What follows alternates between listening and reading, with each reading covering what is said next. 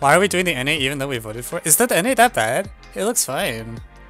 Like, you just start by getting rid of all the number theories so that what you have is like... FP to the... You have FP to the P minus 1. With no subset, which has some equal to 0, right?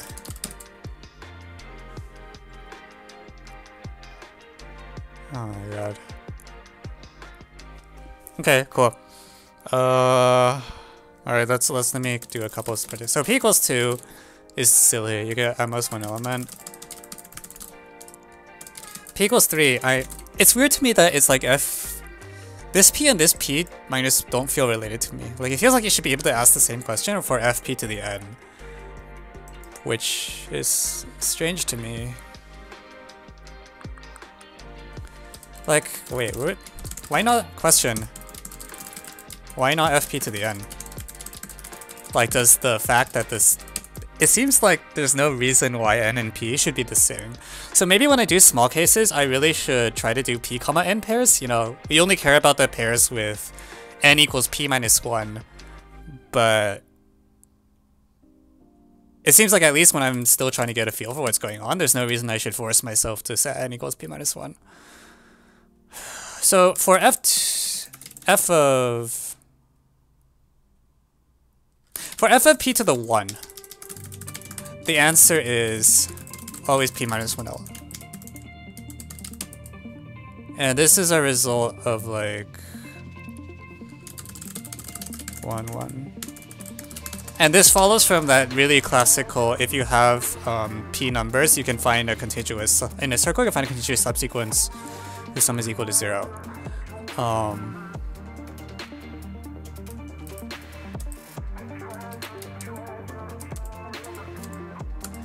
so what about fp squared? Do I know how to do the problem for fp squared?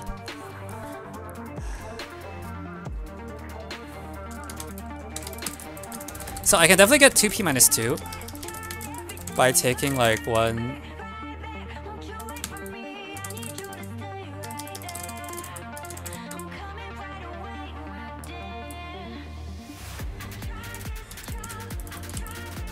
several times and 0 1 several times. Can I do better than that?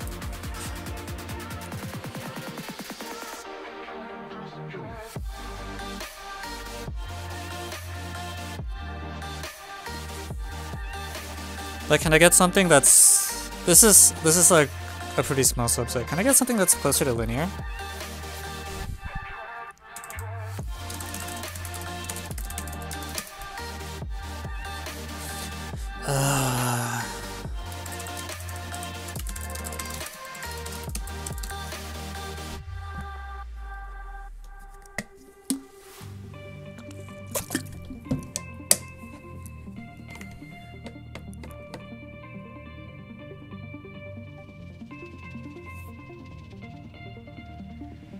Can't you always get p times p minus 1? What's your proposed subset?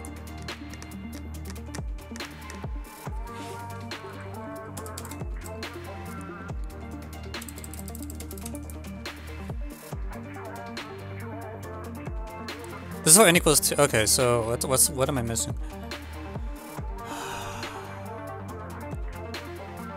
Oh, oh, you're talking about the general case.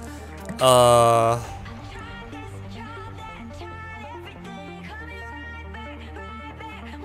Why is that set not valid?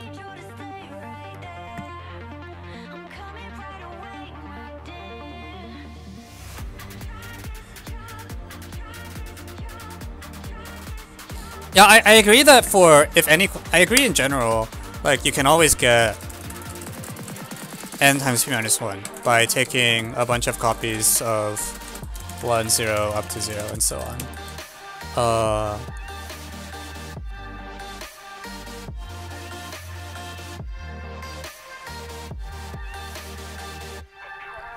So I'm just curious whether I can do better. I can't do better when n equals 1. I know that. Can I do better when n equals 2?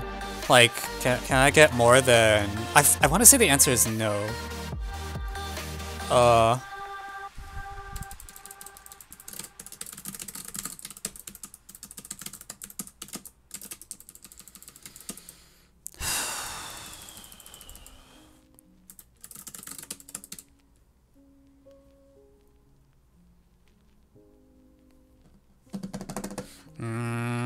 what am I missing? Uh, is it is it really 2p minus 2 for fp squared? Can I do better than that?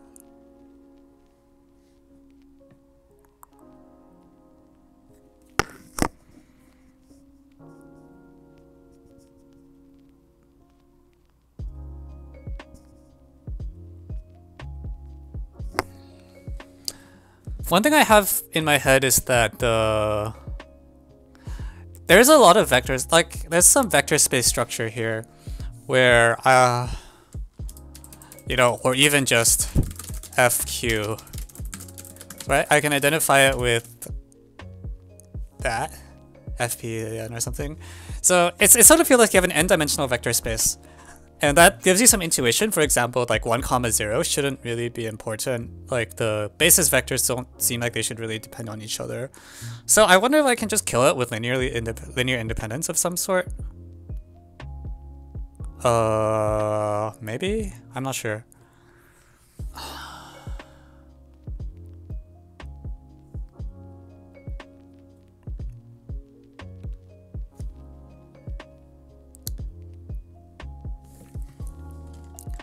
So, okay, for people that aren't following, rephrase question is let n equals p minus 1. Uh, what's the largest multiset of vectors in f of p to the nth power? So, an n-dimensional fp vector space such that no non-empty subset has zero sum. And I'm looking at this and I don't see a reason why n equals p minus 1 should be important, so I'm first trying to see if I can do cases like n equals 2, and I can't do n equals 2, but I have some ideas. Uh, I feel like n equals 2 the answer should not be 2p minus 2. I feel like I should be able to do better. Um, if I take like... I don't know.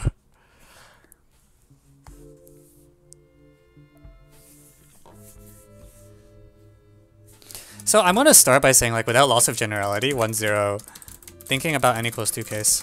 And without loss of generality, I'm going to say 1, 0, and 0, 1 are in here. Because I should have two linearly independent vectors, otherwise there's at most p minus 1 guys.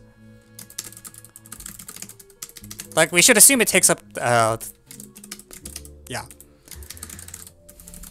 By linear transformation, I'm going to assume 0, 1, and 1, 0 are present.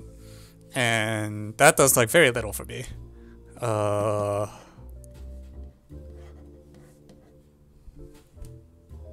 Like I have that. So what, what do I do if I have 1, 0, and 0, 1? Can, I should be able to stuff in, like, even for... Even for p equals 5, I feel like I should be able to stuff in more than 8 vectors. Because it's really hard to get the sum to equal 0. You need both components to equal 0. Uh, like, I almost feel like if I stick in, like, 8 randomish vectors, I should be able to... Well, maybe that's not true. Hmm...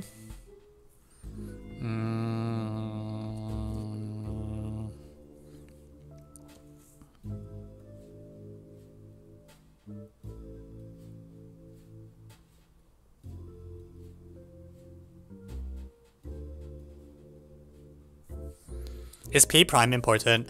I think the fact that the base field is prime will probably matter because you have um,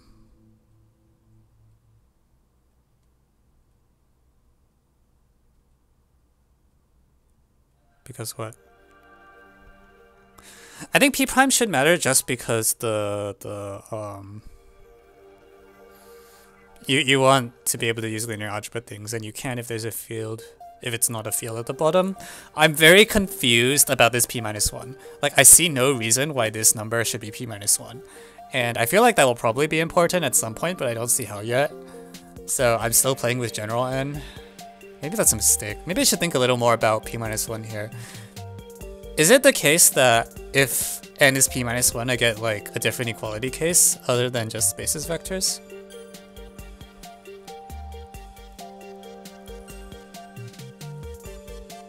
Phi I think that's very unlikely to be relevant, being phi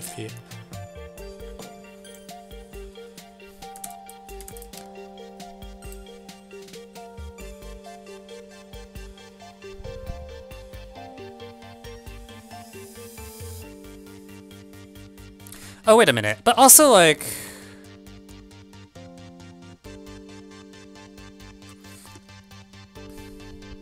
Like, the dumb bound is p squared, and there's no way... I think there's just no way that's...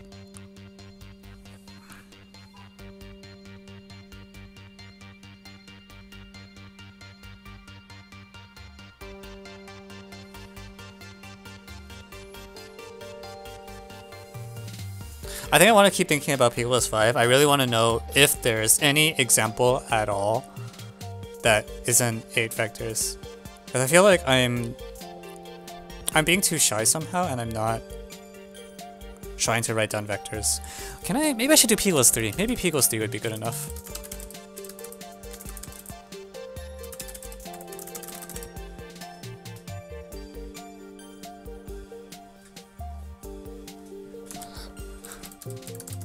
So can I get five vectors? One, zero.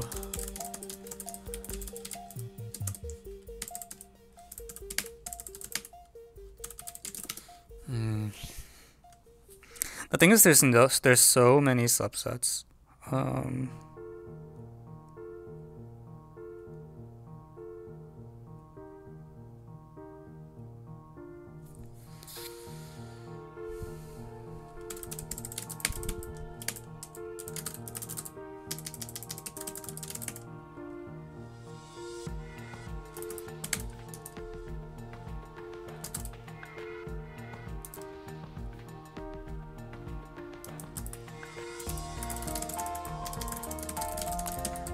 Does that work? That doesn't work. Mm, no, no, no, no, no, no.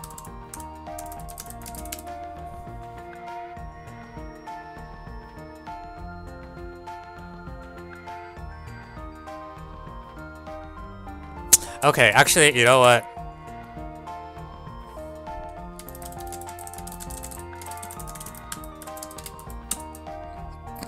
Let's bring in the big hammers. what, what do you mean D theorem's not defined?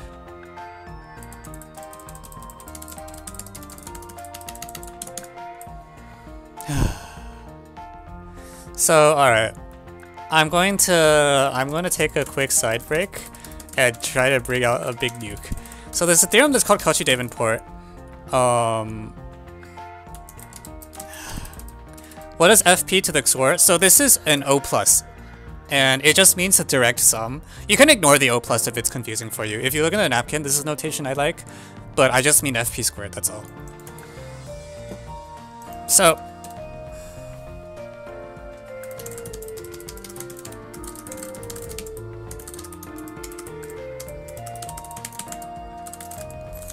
AB subset of FQ. This is a result that should be true. Um, I think. Well, it's, it's true for FP, and I'm trying to think if I can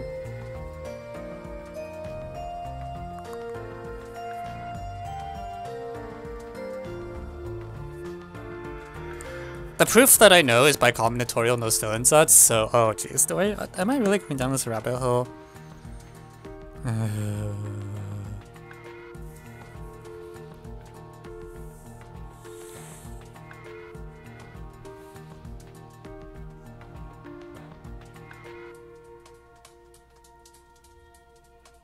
This is terrible. I don't want to go down this rabbit hole.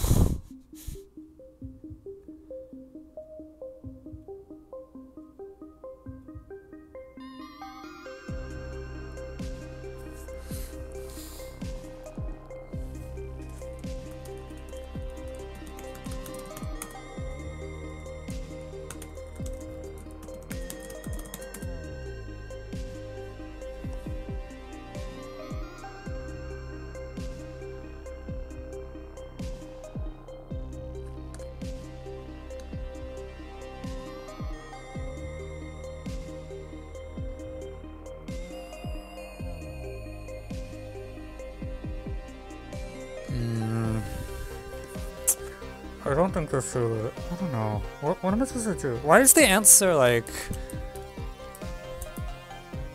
n equals 2, p equals 3.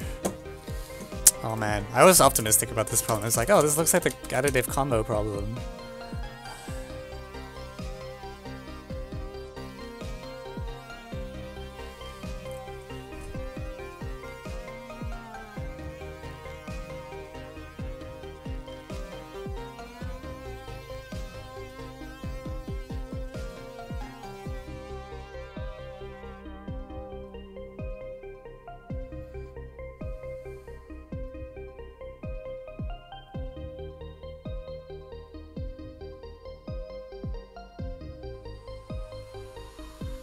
I mean, it's it feels like combo.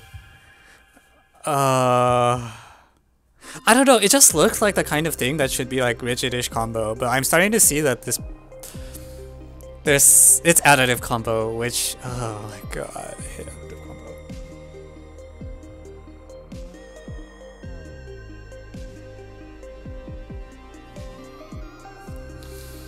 So is there? There's just no example for p equals three with five vectors, right?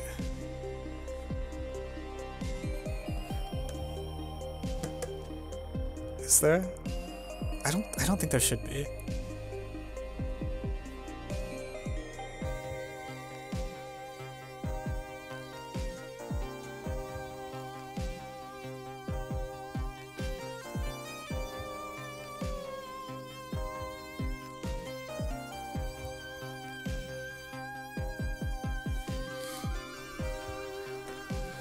I wonder if the n equals 2 case somehow relies on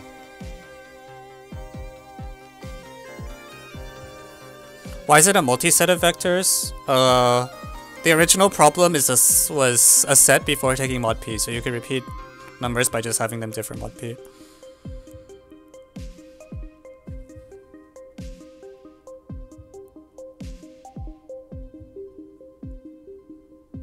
Like, what, so what's like, if I take 0, 1 twice, and then like 1, 0 twice, and then 1, 1 once, or something?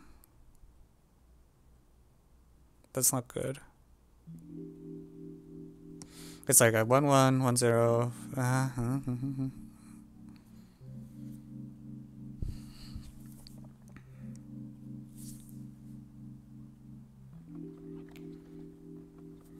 yeah, I, am just writing down some examples and seeing why there's a thing that sums to 0. Um, this requires everything to sum to 0. Any proper subset doesn't, right? No, some proper subsets though too.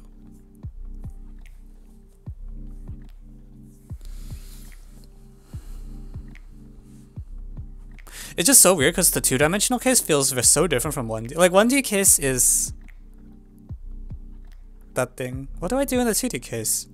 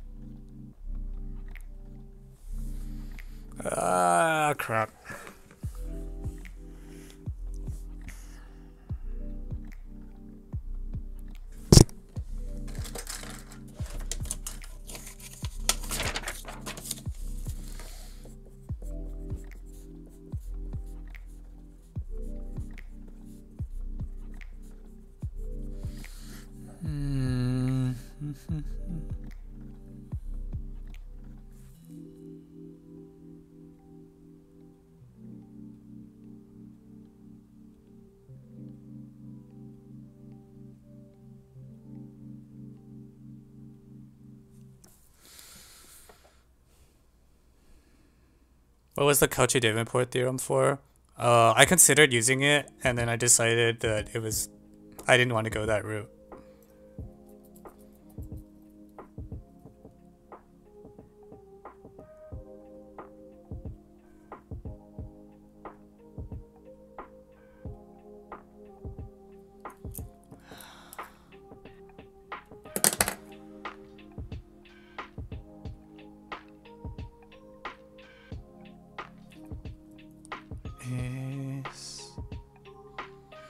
Set of subsets where one component subs to zero?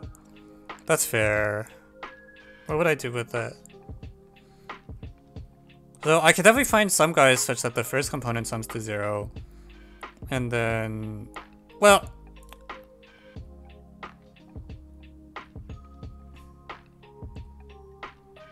Oh, hang on. Here, here, here, here, here. Um...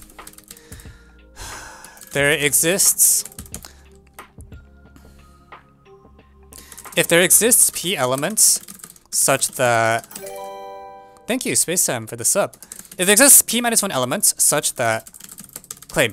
If there exists p minus 1 elements such that the first component is non-zero, then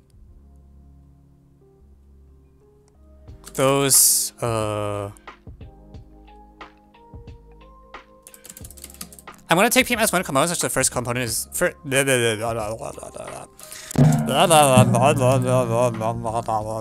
I can't um if I take P minus one element such the first component is non-zero, then those elements when put together can give any residue class for the first component.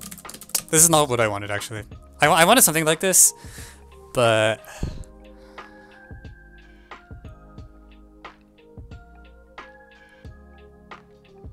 Give any residue class for the first component. That's fine. Uh, so that gives me a bit more leverage. That means I just need to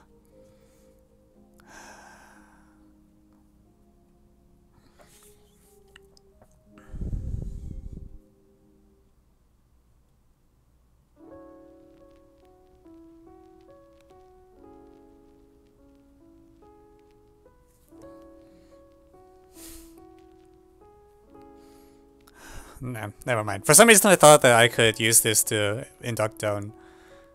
You can take a bijection from FP XOR to FP to the n? I mean, yeah, I consider that. Does that actually matter? Like, am I gonna have to use the multiplication in there? if so, that's like really depressing. Uh...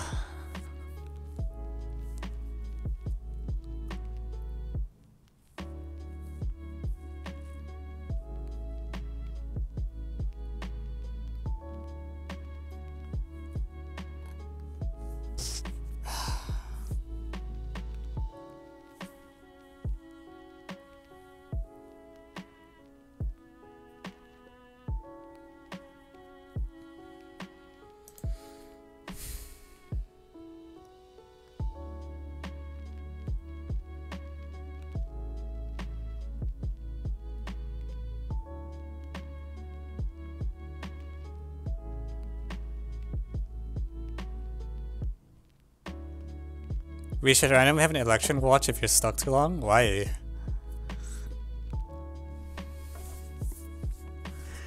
I think this is good though. This, is, this is a Cauchy Davenport in a way that actually gives me some power. It's not just like, oh, I can get zero. It's I can get every residue class for the first component using just p minus one elements.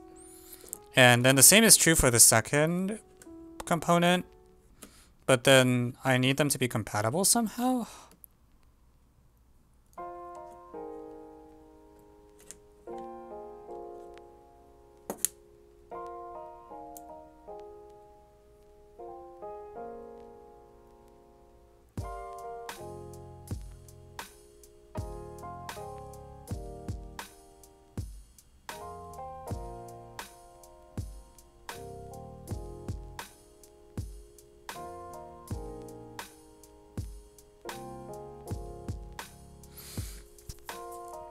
Don't please put this in combo null?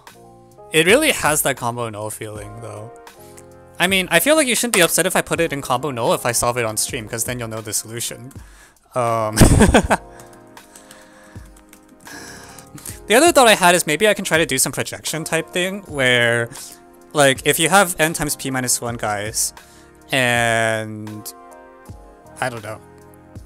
At least when n equals 2. I really I want to see if I can pair off the vectors such that their projections are on the same plane of some sort. And then run from there. I don't think that helps.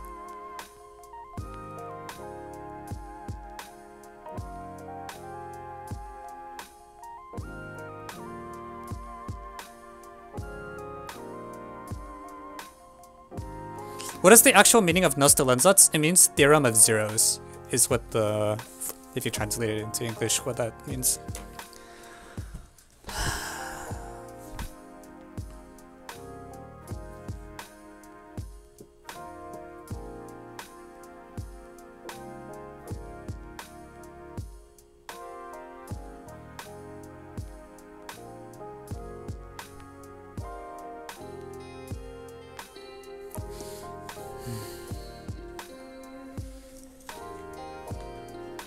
Maybe I should switch to the whiteboard.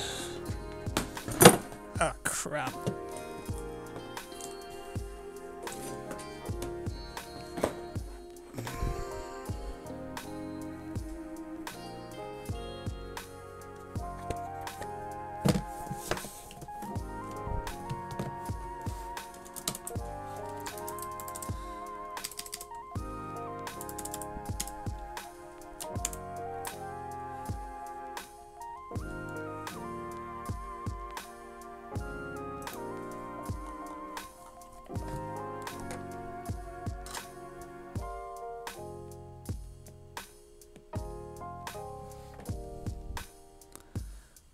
Okay, cool.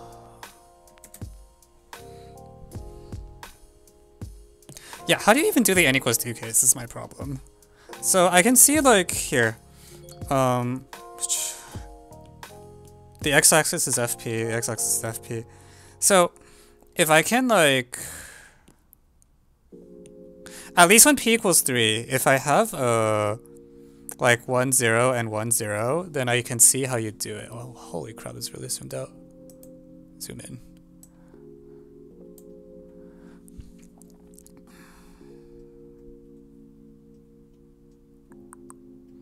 I don't know. Like, it's sort of like if I have p minus 1 vectors in the same plane, then it's fine.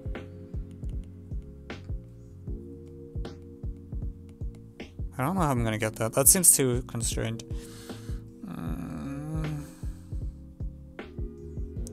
Like, what if all my vectors just have different directions or something? Then I'm sad, right?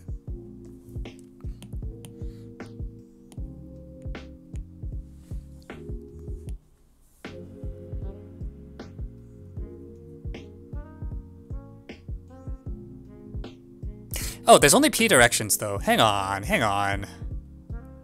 So fp squared, um, Let me draw and like five as an illustration.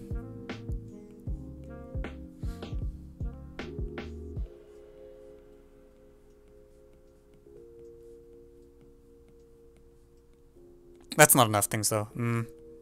It, it works for p equals 3. If p equals 3, then it's enough to do this dumb, like, hyperplane argument. It's definitely not good enough for... If I have 5 vectors... Okay, so I have a proof for fp f3 squared now uh, which is not going to generalize, but I'll state it just for kicks. Um, for 3, there's like 3 different slopes. And there's 5 vectors.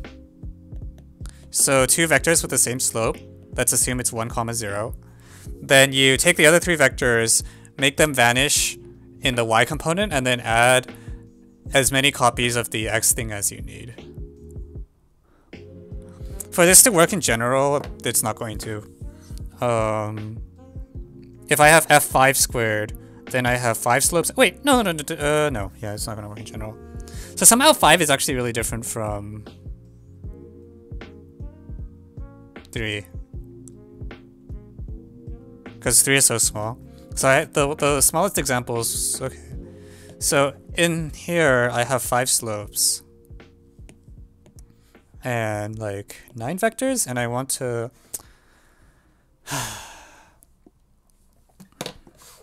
oh yeah I should put the rephrase question on the yeah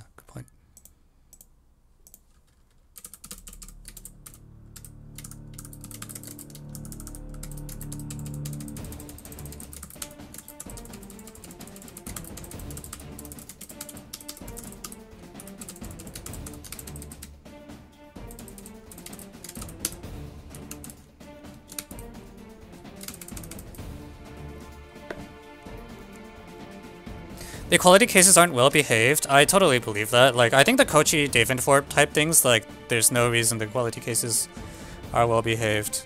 But I really want to know whether the answer is actually 8.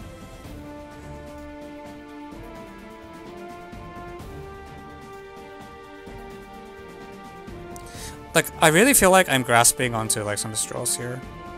Um, like, even if I can do this, it would, it would probably use the fact that, like... Wait.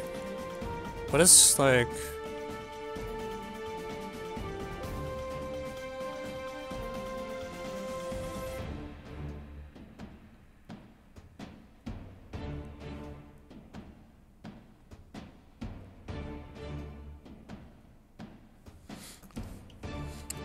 Even if I can get two linearly dependent vectors, that doesn't really help me much, right?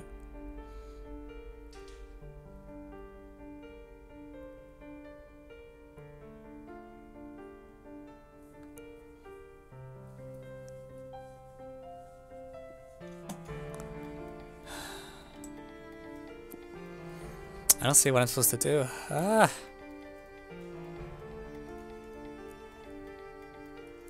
I'm like ready to try to pull out the combo null gun, but I don't see how I can use it. I don't know that tool well enough. Number of subsets is too freaking large. Um...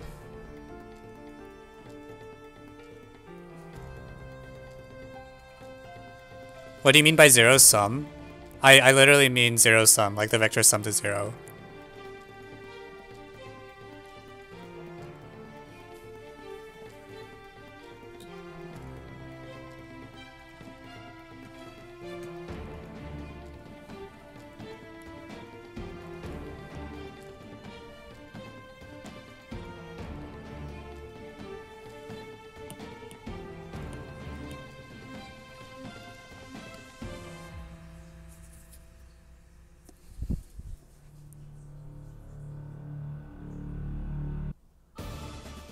If there are three distinct vectors, the bound isn't hard.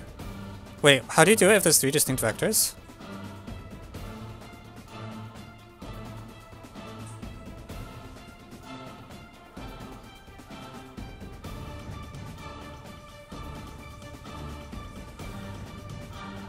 But that loss generally 1 comma 1 is one of them. Also, I think I might have misspoken earlier about the number of slopes. It's like four slopes. The other is be A, comma B, and C, comma D.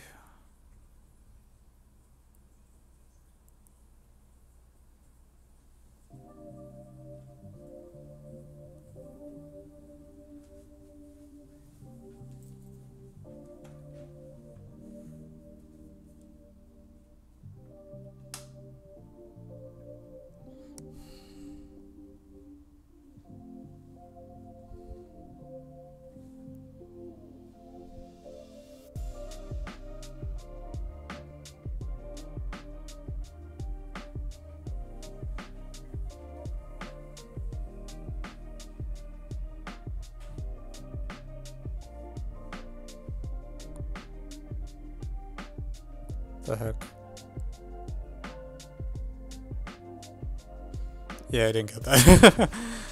uh...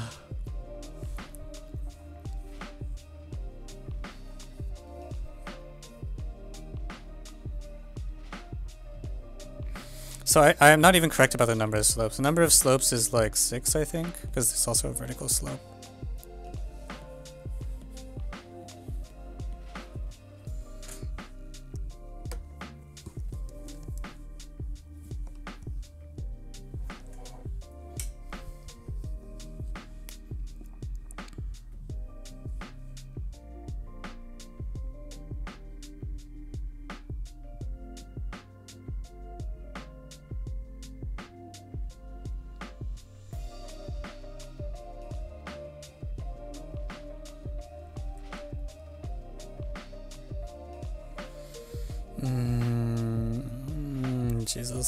This is so bad.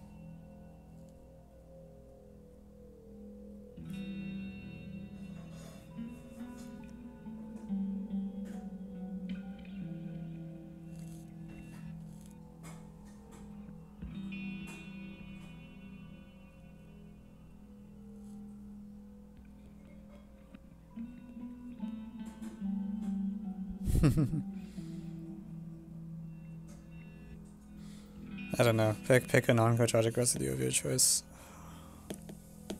What am I supposed to do?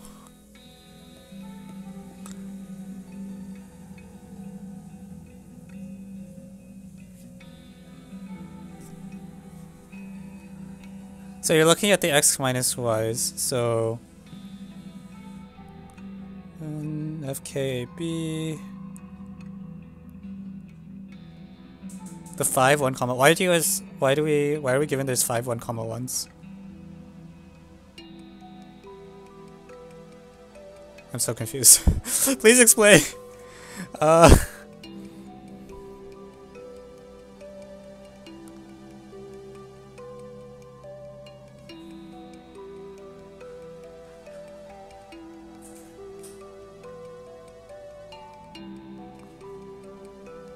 Oh, this is just if there's three different vectors. Uh... I totally believe that you can do it with three different vectors, because one of them will appear a bunch of times. Um...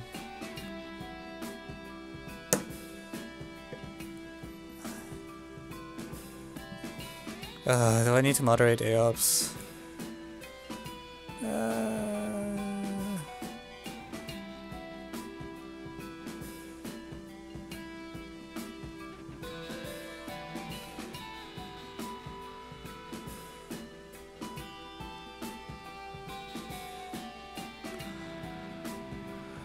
I'll do it later. I don't have the patience right now.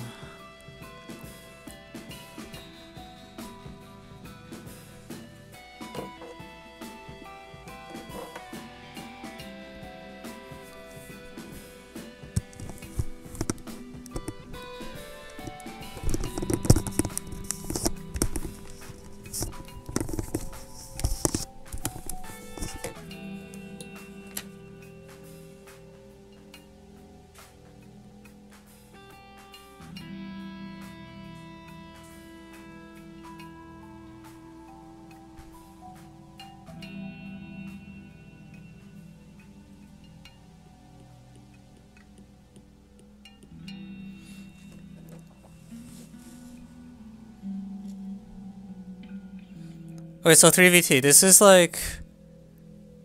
This is only in the case where there's like three, there's a vector repeated, there's only three different types of vectors, right? Is that correct?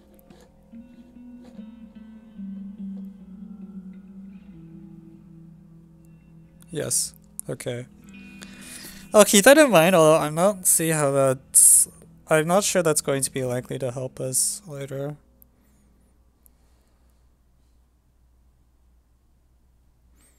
Like, I still... The thing I'm still suspicious about is why the dimension has to be one less than the number of elements. Um... I think this solves n equals 2.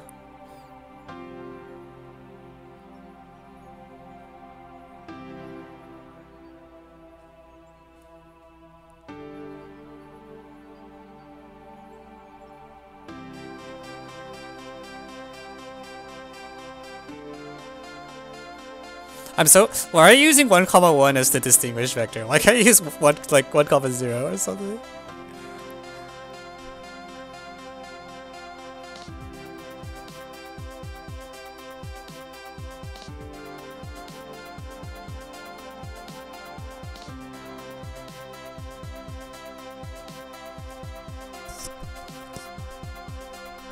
If you have no zero, you have no, 1 comma is 1 and 1 comma 0 are the same because you can take a linear transformation from one to the other.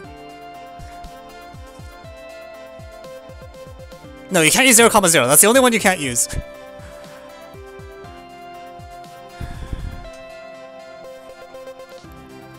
No zero sum. Why do you have to cover most sums? You have like 2 to the bunch of things, and none of them is equal to 0. Uh...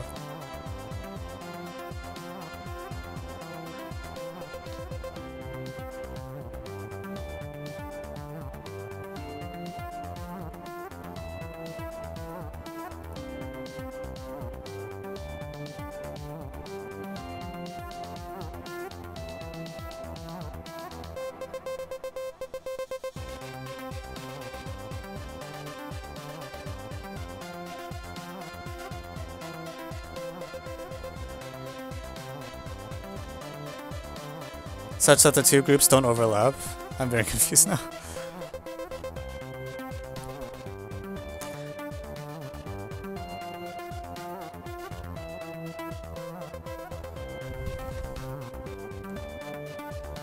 If AB is you become CD plus EF, then you need to have either C comma D or my. So this is like assuming maximality.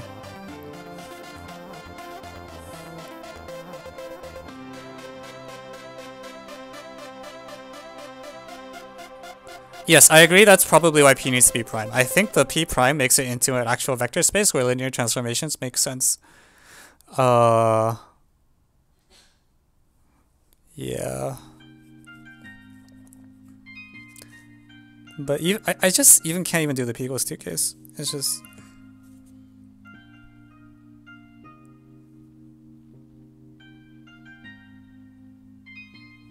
Okay, so assume there's three different classes of vectors. Uh, whatever they are. Sure.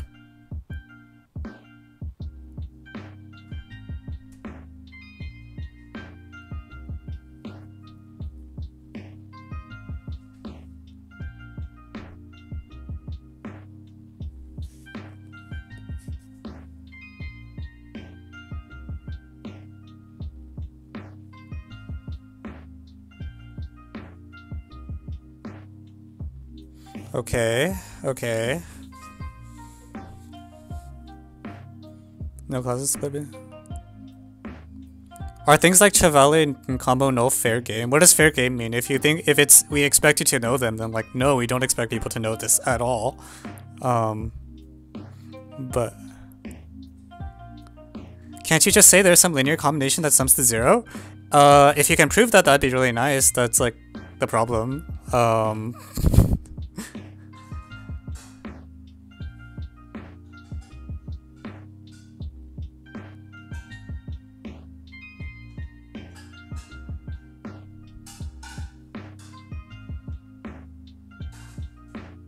I mean, but I've been using Cauchy David, but it's, it's like Davenport's this thing that says if I have p minus 1 guys, um, if I have p minus 1 vectors, then their projections onto each coordinate hit everything.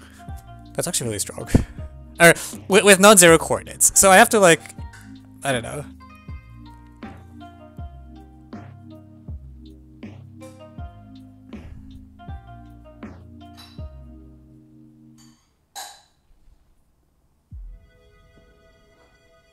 Oh, that's pretty good actually. Okay, I, I see what the approach is. Um...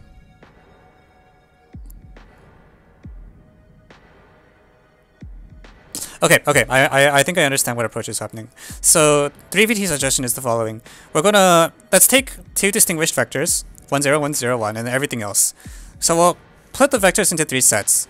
They're called, uh, this is called set A. These are the things that are in this line. This is set B, this is a set of things that are in this line and then set C will consist of everything else, all of these other vectors.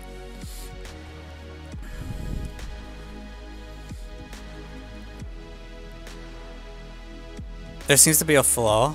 Oh, darn. I got excited for a moment.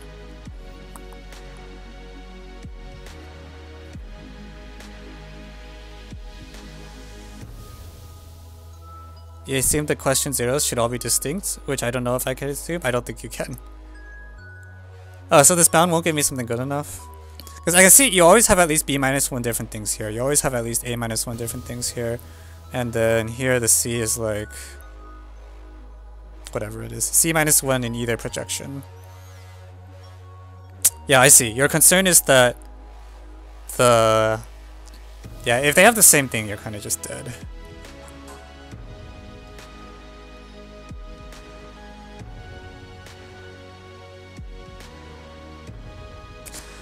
Okay, so people keep saying combo null. I want to try it too, even though I just don't know this technique well enough to trust myself to use it, but I don't know. At this point, I really want to try. So what would a combo null approach look like? It's like you care about subsets. Um,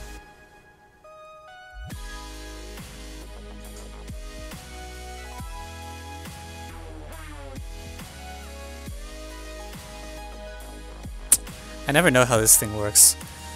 Let me review my combo null notes.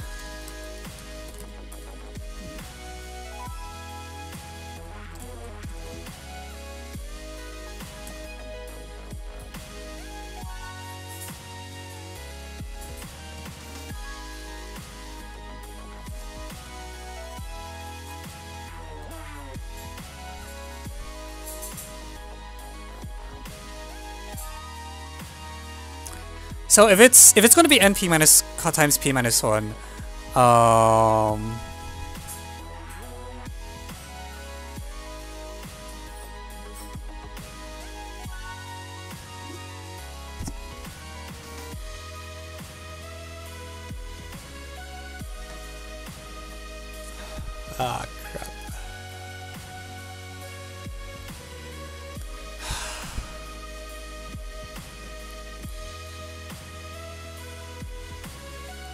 Is this, uh, if this is gonna be common, no, I'm really disappointed.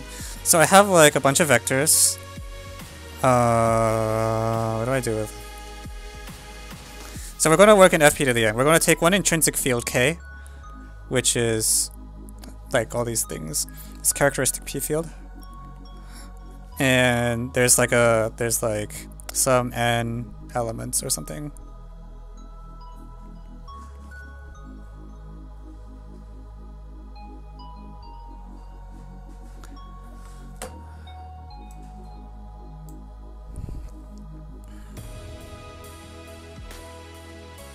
So what's the polynomial I'm supposed to write down?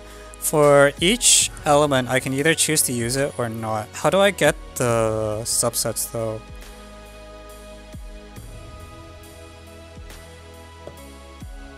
I need a degree to not be too big, is the thing.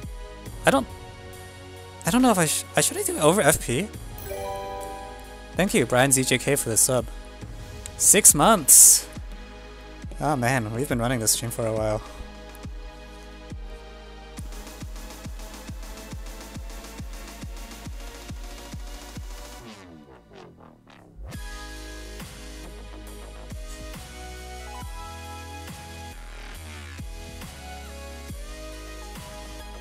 Maybe n equals p minus 1 will actually be important.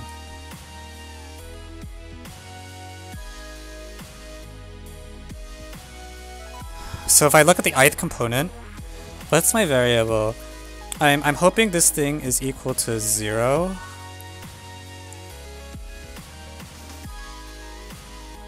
So I'm going to instantiate a variable xi, which is either 0 or 1? I don't like that. Let's try it anyways. Uh, this is from r equals 0 to r equals 1 to n. We'll, we'll do k equals 1 to n. k equals 1 through n of xi times xi isn't 0, 1. Let me, let me write this down and just see what happens. The ith vector's kth component. This is from... This is terrible though. This is a problem. The monomials are... I could def I'm starting to see why n equals p minus 1 might actually matter. If it's going to be combo null, what you want is like you want you have n equations that you want to equal 0. And you do something like this. The problem is that this is really bad because like I'm not really The degree is going to be way too big, right? I need the xi's to be basically multilinear. Um, and that's not going to happen. Let me look at the proof of Troyzinier. I never remember that proof, but I feel like it's similar to something there. Troyzinier.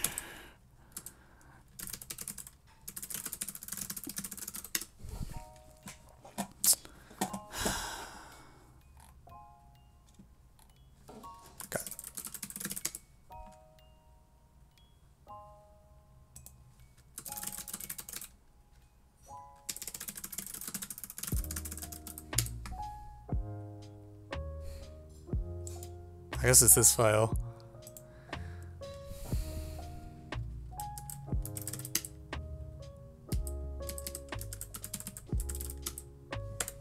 Freaking. Bandwidth, da, da, da, da, da, blah, blah, blah, blah, blah, blah.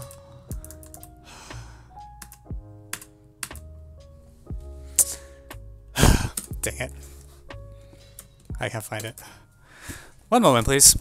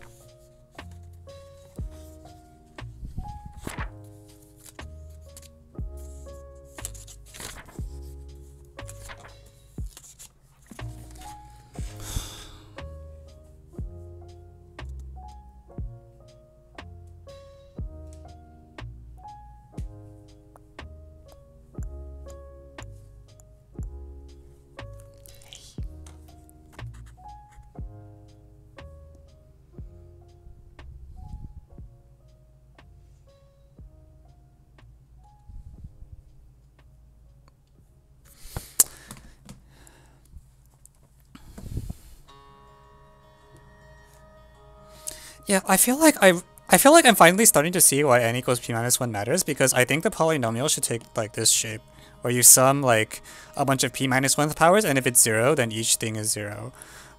Um, but how do I how do I make the sets big enough?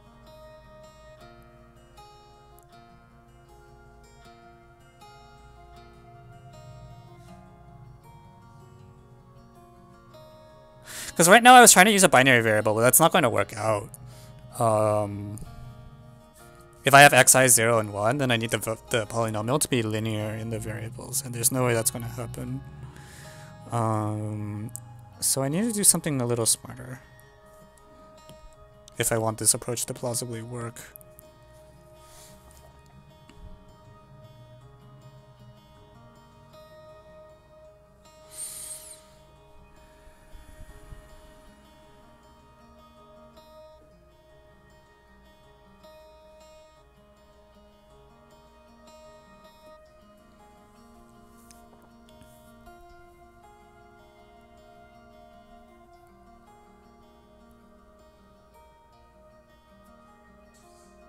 So what I want to be is I, I really want each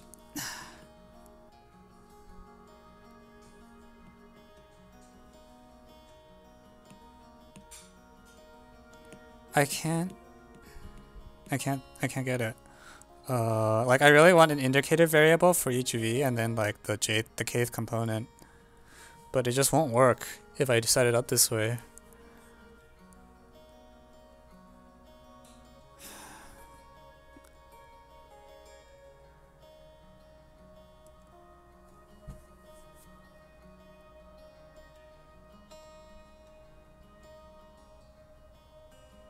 I, I need to put, if I want to use n equals p minus 1, I got to project it like this.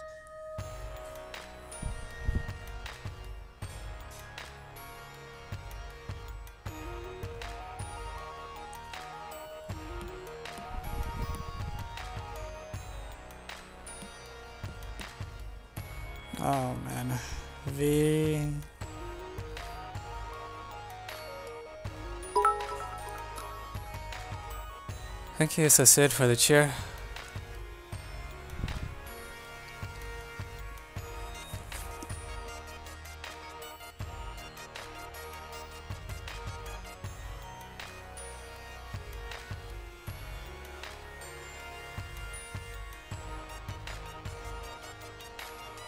What do I, I think the answer is p minus 1 times p, right? That's the number of things.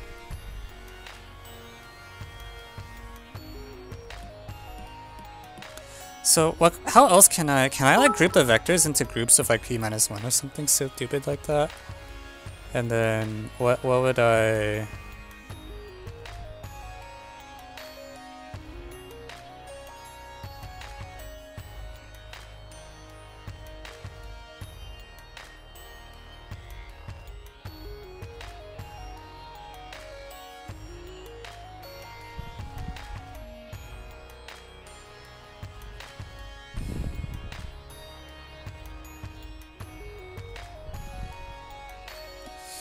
What if I do this something really silly, like probably, suppose, so like we'll let x, x1, we, we group the, we make a group of p vectors, we'll call this group like capital V1, and then x1 is, no that doesn't work, what am I talking about? Just, that was stupid. I need xi to correspond to a choice of the... no, that's not good.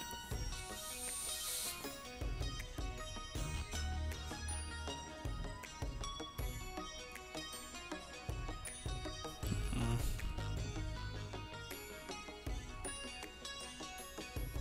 Most of us think it's actually NP and P minus 1 is not useful.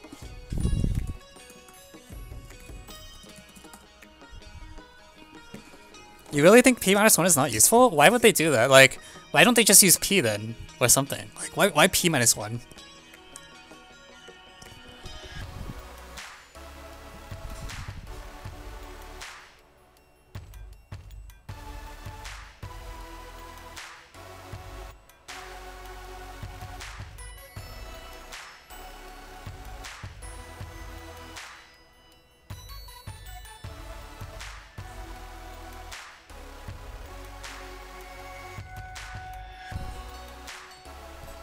Or I wouldn't be surprised if it was true for general n, but the proof that here doesn't work. Like, combo null proofs aren't necessarily always tight.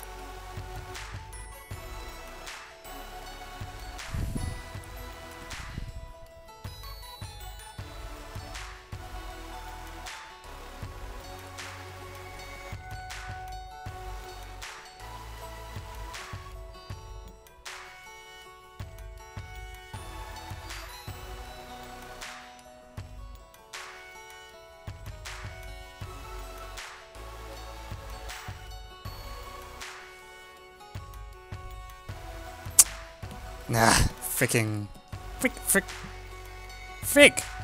Uh, uh. This was my equality case. If I have, And for p equals five, n equals two, this is my equality case. Like, I really want to make it into a group so that I can have my variable take on like zero through.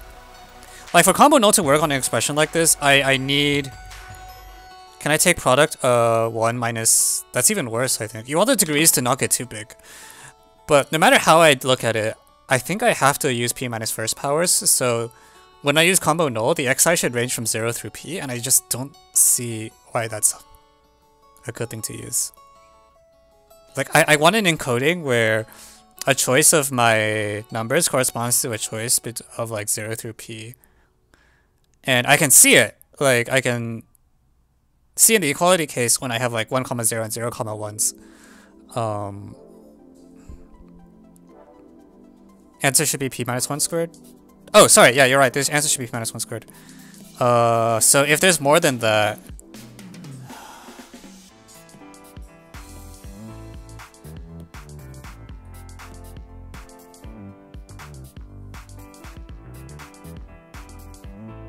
Someone asked why we were trying to get the largest zero sum. I don't understand what that means.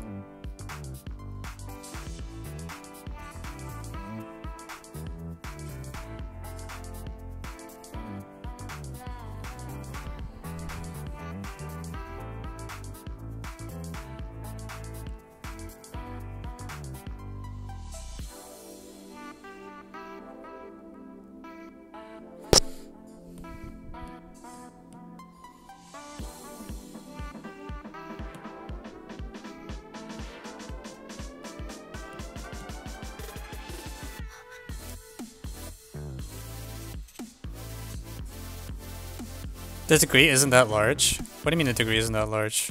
What's the product over? You want to take a product? Over what?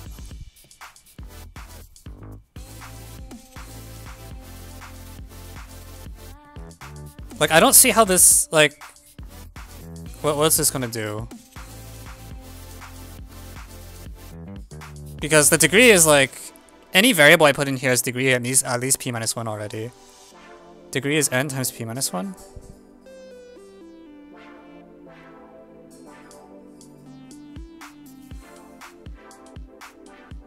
What are your variables though, is I guess? Like, do you, how do you put a linear polynomial in here that does anything useful?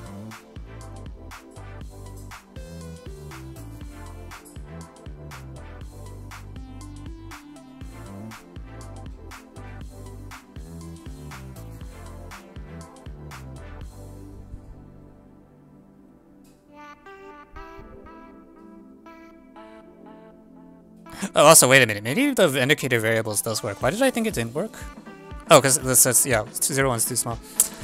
I, I really want the variables to range from 0 to p. Because, like, if I have a... Uh,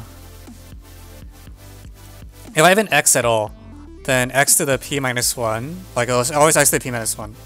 So that means, like, the, this the the x has to range across 0 through p, no matter sort of no matter what I do. Maybe I should go back to using the intrinsic field. Just the the set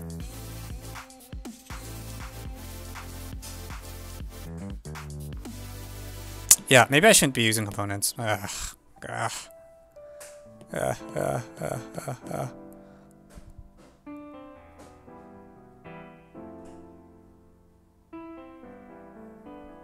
Same problem, yeah.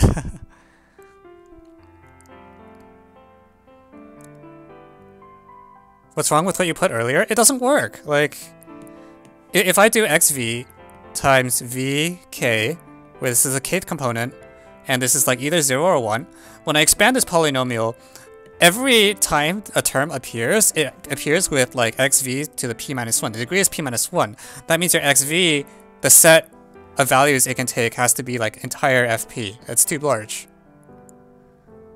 Did I see your message about set? Yeah, but I want to solve this problem, dang it.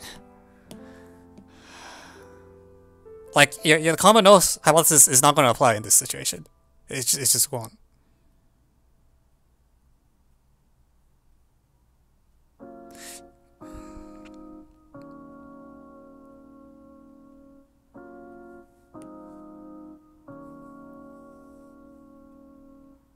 Why did we move from the graphical interpretation? It wasn't working. if you it to work, I'd like to know. Alright, uh... Maybe I should switch to FQ. Uh, if I'm working in FQ, then for every vector in FQ, you can create a variable called x sub v, which is the number of times you use v.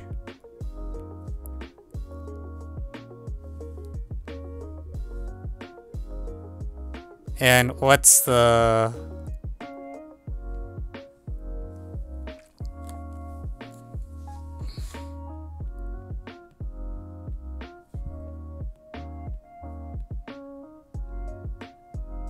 This is the dumbest thing I've done all day.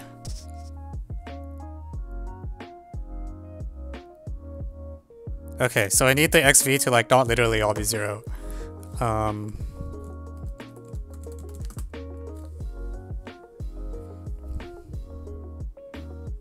If xv and 0, 1, you can replace all power...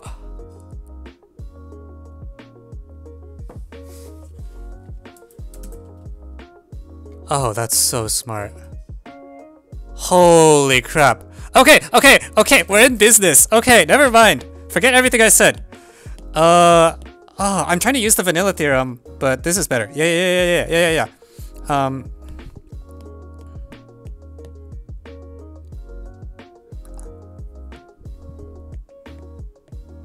Okay, so this is our polynomial. This is going to be our polynomial. Uh, what do I call it? Let, us call this polynomial f. All right, it's a really multivariable polynomial. Shoot, I should know better. Oh, jeez. So that's our polynomial. Um, so this is the sum across all v. When it's expanded, um,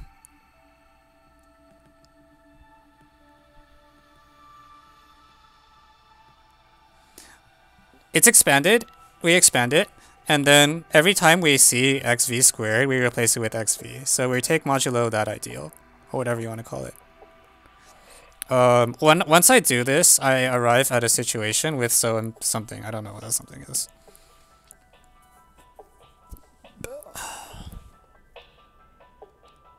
Okay, why does this help? Why does this take into account the number of variables? alright, alright, uh-huh. Are you sure I don't want to just go into, like, FP to the end? Like, I feel like I'm not used taking advantage of the fact that FP to the end is a vector space. And maybe I should take advantage of that.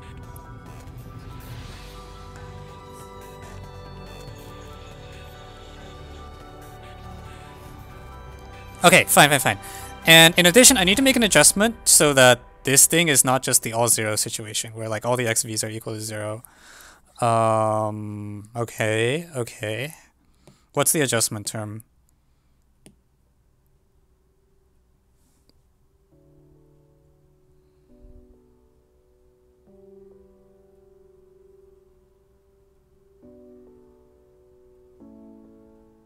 So right now, if this is non-zero, it'll be anything from 1 through p minus 1. Um,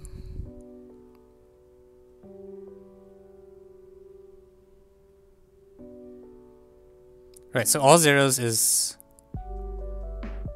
Wait a minute, what am I doing? Hang on. Uh, I think I'm being stupid. I feel like I flipped what I wanted. I'm looking for a zero of the polynomial, but I really want not zero?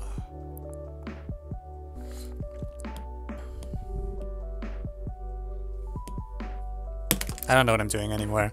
Was Miracle Sudoku done already? No, I've been stuck on this stupid problem since the start of the stream. Uh, I don't see the problem. I just don't know this theorem, but I get more and more the feeling I have to use it.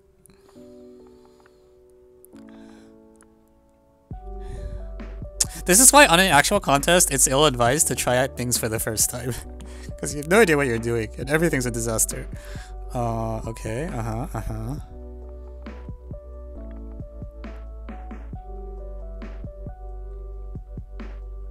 It's. I feel like this is coming together, but I'm not seeing it. So this is this is the polynomial I wanted. Um, thank you 3VT for the cheer.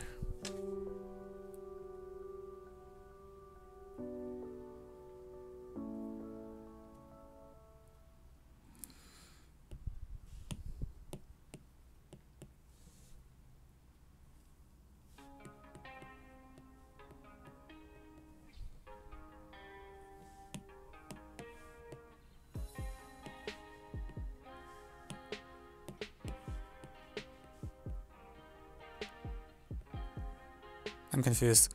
I want the polynomial to... I want valid choices to give non-zero...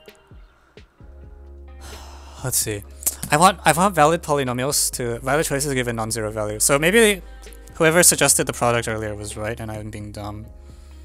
But I really feel like I really want to use n equals p minus 1. That's why I was looking the sum, because like otherwise I can't use that.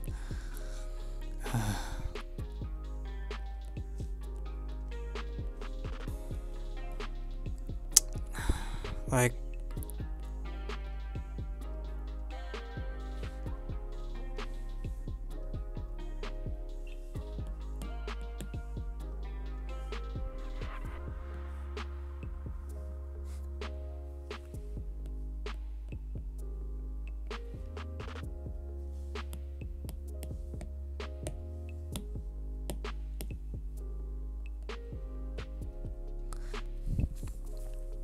Is that it? Is that the polynomial I want?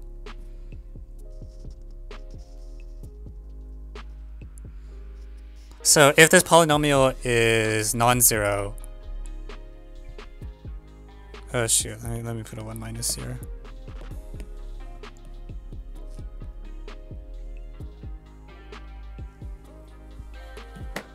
do I really have to do it this way?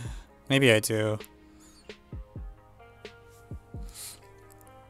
Equals 1 through n. So use product across the components. This is actually just work. I'm so upset. That's disgusting. That's the worst thing I've seen all day. I think it's just it's gonna work. Alright, alright.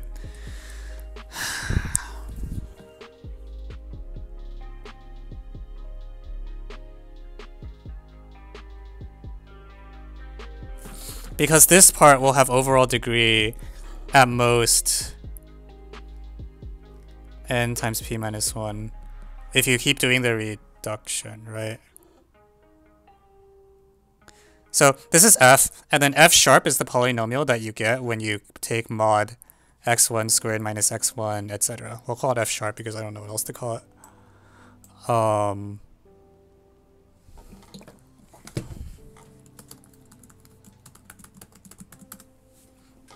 And when I expand this and I take everything mod the xv squareds, even though p might be pretty big or whatever, um, here you can only get up to, your multilinear terms will have degree at most p minus 1. Right, because you're multiplying p minus 1 things together. Actually, for, forget that, just, it has degree at most p minus 1, like whatever.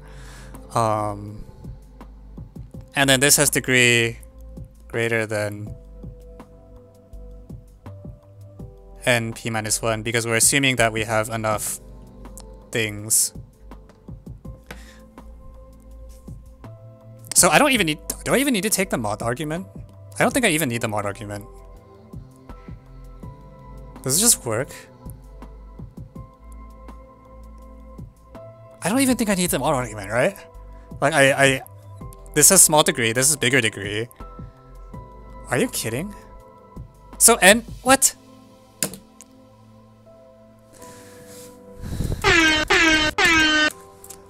Can, can someone check whether this actually works? Because if so, I'm I'm sad that this took an hour of my life. I have the wrong intuition about the degrees of polynomials. Apparently.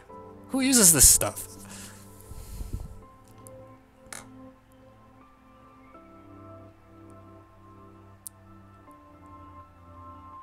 Took around one and a half hours actually. You did not waste an hour. See, ah. Oh.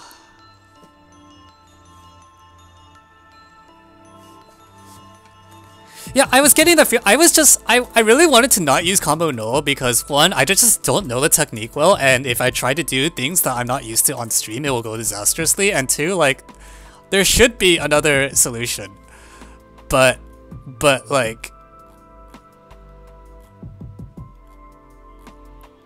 oh no.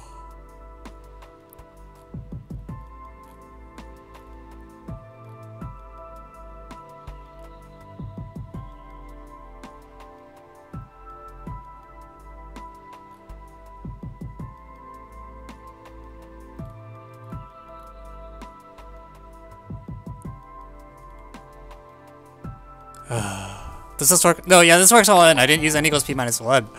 So now I'm just confused. Like, why is n equals p minus 1? Is, it just literally just trying to be bait? I, I don't get it.